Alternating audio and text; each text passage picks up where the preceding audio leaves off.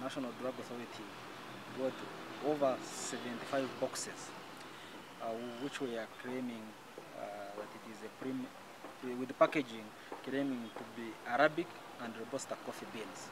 But on opening, these sackets contain powder.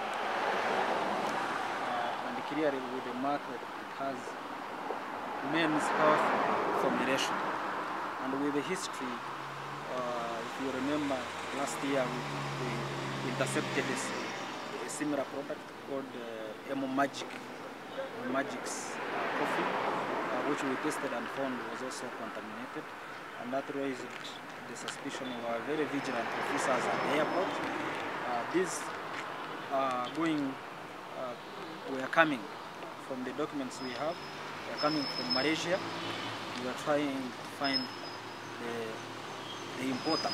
National Drug Authority uh, warns the public against the consumption of Aero Power coffee, which our laboratory tests have confirmed that is adulterated with tadalafil.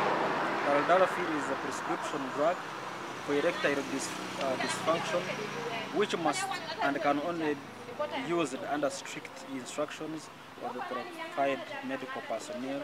We have also directed all pharmacies, drug shops, supermarkets, online shops, and any other drug or health nutritional supplement dealer to stop with immediate effect stocking, sale, distribution, or dealing in this Aero Power uh, coffee.